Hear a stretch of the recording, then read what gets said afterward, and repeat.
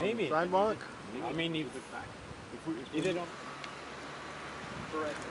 We are among the market leaders here, uh, and uh, we see uh, Morocco also has a great uh, infrastructure. It has excellent ports. Uh, it also has a skilled manpower. So, and, and, and we see the automotive industry set to grow in this region. So, therefore, Morocco is an important uh, market for us, and uh, that's one of the reasons why we chose this to be our regional office for sales and marketing.